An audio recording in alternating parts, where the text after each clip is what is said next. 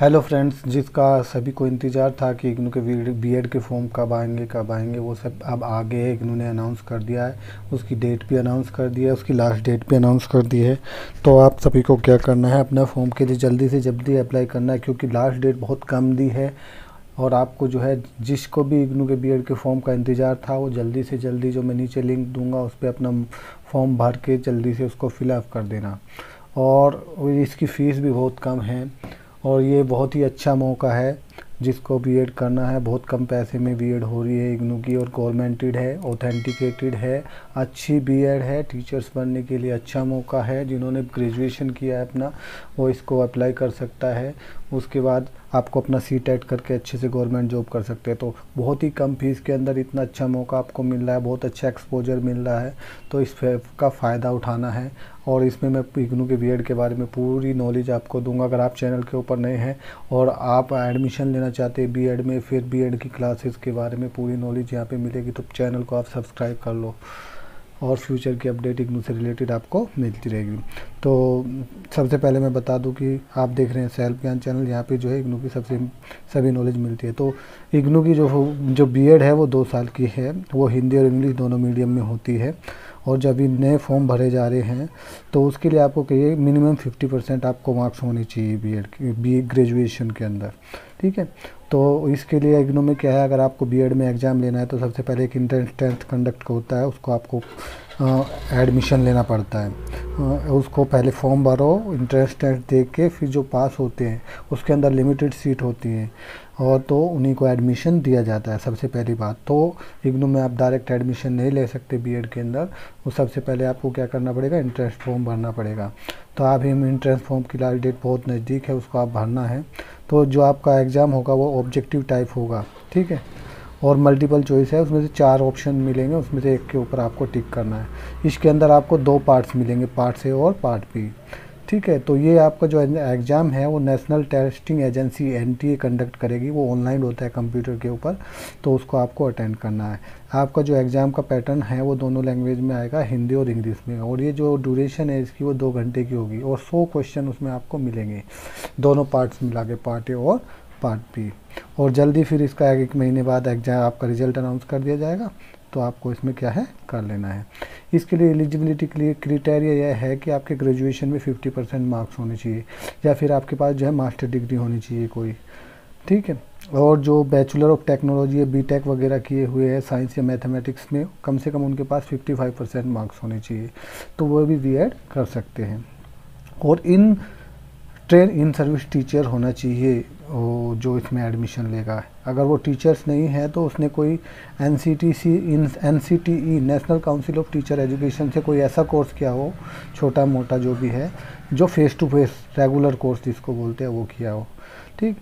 इसमें जो है पाँच परसेंट मार्क्स कम भी होंगे तो रिज़र्व कैटेगरी में अगर वो है S C S T O B C non creamy layer के अंदर अगर है तो पाँच परसेंट कम मार्क्स भी उसके चलेंगे। पाँच परसेंट कम का मार्क्स, अगर फिफ्टी परसेंट दिया है तो फोर्टी फाइव परसेंट भी अगर रिज़र्व कैटेगरी के अंदर उसके ग्रेजुएशन में मार्क्स है तो वो एडमिशन ले सकता है। और जो कश्मीरी जो हैं माइग्रेंट्स हैं, वारविडोज हैं, उन सबको भी जो है एज पर यूनिवर्सिटी रूल वो दिया हुआ है।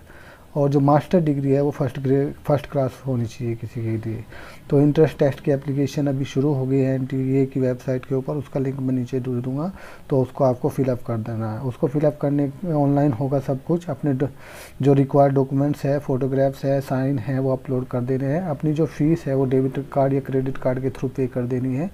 और फिर आपके पास एक कन्फर्मेशन मैसेज आ जाएगा, उसको डाउनलोड करके उसको संभाल के अपने पास रखना है। क्योंकि फिर जो है, जब आप आपके एग्ज़ाम के लिए एडमिट कार्ड आएगा, फिर वे सब चीज़ें उसके अंदर चाहिएगी। तो और फिर आप अपना एडमिट कार्ड को डाउनलोड करके आपको अपना एग्ज़ाम देना है। ठीक है तो ये सब चीज़ें संभाल के रखना है। आपका अप्लीकेशन नंबर आपका नाम, आपका फिर एक इनरोलमेंट नंबर मिलेगा आपको। जब आप उसको डाल, डालोगे और फोटोग्राफ्स ये सब चीज़ें जो है उस पर लग के आएँगी। जब उसके बाद आपको अपना टेस्ट देना है। तो इस तरीके से, और मैं अब आपको स्क्रीन के ऊपर लेके चलूँगा और आपको बताऊँगा कि आपके जो पार्ट ए में कौन से क्वेश्चन आते हैं पार्ट बी में कौन से क्वेश्चन आते हैं। तो चलो मैं पहले बता देता हूँ, फिर स्क्रीन के ऊपर आपको लेके चलूँगा। तो पार्ट ए में जो आपके है जनरल इंग्लिश कंप्रहेंशन के ऊपर आता है logical and analytical analytical reasoning के ऊपर आता है एजुकेशनल एंड जनरल अवेयरनेस के ऊपर आता है teaching and learning and in the school के ऊपर आता है। तो पार्ट ए नॉर्मल है सभी के लिए। उसके जो पार्ट बी है, कोई सब्जेक्ट लेना है कोई एक। साइंस ले लो मैथमेटिक्स ले लो सोशल साइंस ले लो इंग्लिश ले लो या हिंदी उसके ऊपर आपके एग्ज़ाम आएँगे। तो टोटल सौ क्वेश्चन हो जाएँगे। ठीक है? जो ये कैरिकुलम है वो नौवीं, दसवीं जो है एन e या सी e है, उसके बेस पे आपका रहेगा। ठीक है तो जो अगर आप पूछेंगे कि कितने नंबर के क्वेश्चन आएँगे, जो जनरल इंग्लिश कंप्रहेंशन है, उसमें से दस नंबर के आएँगे, दस क्वेश्चन आएँगे। ठीक है लॉजिकल एनालिटिक एंड रीजनिंग में से बीस आएँगे।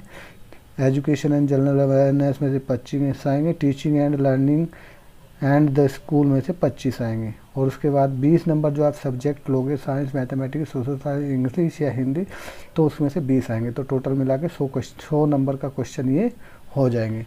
तो इस तरीके से जो सौ नंबर के क्वेश्चन हैं तो सौ में से आपको मेरिट में आना है। और ये जो जितने भी सेंटर हैं, उनके ऊपर जो है लिमिटेड सीट है तो उसको आपको क्वालिफाई करना है। चलो मैं जो इन्होंने नोटिफिकेशन दिया है जो एग्ज़ाम का कब है और कैसे कैसे क्या क्या चाहिए, वो मैं आपको एक बार दोबारा स्क्रीन के ऊपर दिखा देता हूँ।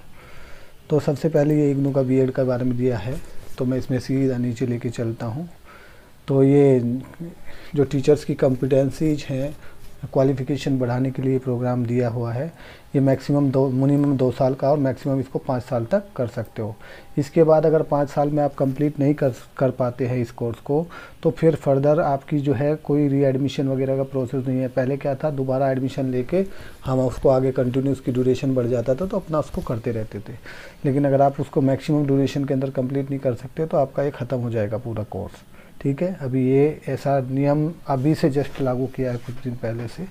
ठीक है तो और इसको आप हिंदी और इंग्लिश दोनों मीडियम में कर सकते हैं। फिफ्टी परसेंट मार्क्स आपको चाहिए, मैंने बता दिया है।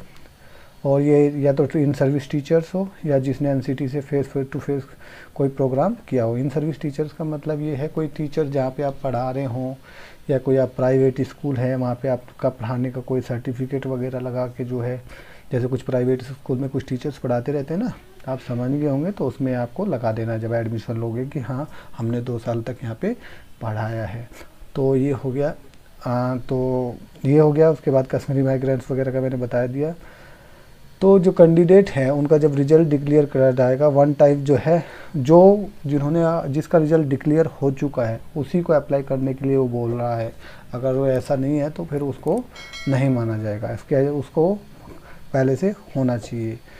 तो इन सर्विस टीचर और ट्रेन टीचर के मैंने बारे में मैंने बता दिया है। फेस टू फेस मोड मतलब रेगुलर में जिसने कोई छोटा मोटा कोर्स किया है, वो डायरेक्ट उसके लिए ज़रूरी नहीं कि वो उसमें रहे, पढ़ा रहे हों ऐसा करके। कोई छः महीने का कुछ ऐसा कोर्स किया फेस टू फेस या रेगुलर कोर्स एनसीटी से रिकोगनाइज तो वो डायरेक्ट बी में एडमिशन ले सकता है। और पाँच परसेंट का कंसेशन है, वो सब बता दिया मैंने। तो एडमिशन कैसे होगा? सबसे पहले आपको इंटरेस्ट टेस्ट देना है और ऑनलाइन फॉर्म भरना है, ठीक है? और आपका जो इंट्रेंस टेस्ट होगा, वो 11 अप्रैल को होगा। कंफर्म हो गया। ये यूनिवर्सिटी ने लिख के दे दिया है, आपका जो इंट्रेंस टेस्ट होगा, वो 11 अप्रैल को होगा। सेम उसी दिन एमबीए का भी इंट्रेंस टेस्ट है। तो ये फुल्ली कंप्यूटराइज होगा और इसको आपको अटेंड करना है। ठीक है? और इसके बाद रैंक जिसकी ज़्यादा अच्छी रैंक होगी, जितने स्टूडेंट लेने होंगे, उन्हीं को फ़र्स्ट ऊपर वालों को ले लिया जाएगा, बाकी को छोड़ दिया जाएगा। आपकी जो फ़ीस है, वो दोनों साल की पचपन हज़ार रुपये है, यानी कि साढ़े बाईस हज़ार रुपये एक साल की फ़ीस लगभग बीएड की बैठेगी। ये दो साल का कोर्स है तो पचपन हज़ार टोटल इसकी फ़ीस है। तो काफ़ी दूसरी यूनिवर्सिटी के मुकाबले काफ़ी कम है। इसी में आपको बुक्स वुक्स सब कुछ मिलेगा। सिर्फ़ आपको उसके बाद एग्ज़ाम देना है। और 10-15 दिन की इसमें कुछ ऑनलाइन क्लासेस वो आ, कुछ प्रैक्टिकल वगैरह होता है वो देना है। बाकी और कुछ इसमें कोई इतना ख़ास नहीं है तो आप इसको कर सकते हैं। और मैं बता दूँ कि हम जो है जस्ट इग्नू में जैसे ही एडमिशन हो जाएगा बीएड बीएड में जो इम्पोर्टेंट क्वेश्चन आने वाले हैं, उनके ऊपर भी कुछ वीडियोज़ बनाने वाले हैं। अगर आप बीएड करना चाहते हैं तो पहले इस चैनल को सब्सक्राइब कर लो और आप फ्यूचर में आपको भी बी इग्नू बी से रिलेटेड कोई भी इशू आता है तो कॉमेंट बॉक्स में आप बस कॉमेंट करना है। तो प्लीज़ लाइक करो वीडियो को और सब्सक्राइब कर लो चैनल को फ्यूचर के प्रोग्राम के लिए।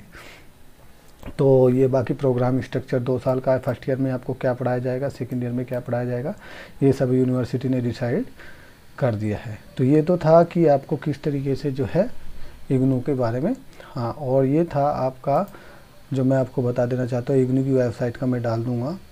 तो ये जो है आपका जो Indira Gandhi open university NTA की जो वेबसाइट है, यहाँ पे आपको जाके इसमें रजिस्ट्रेशन कर देना है। रजिस्ट्रेशन करने के बाद अभी वेबसाइट खुल नहीं रही है, मैं आपको पहले ही बता दूँ।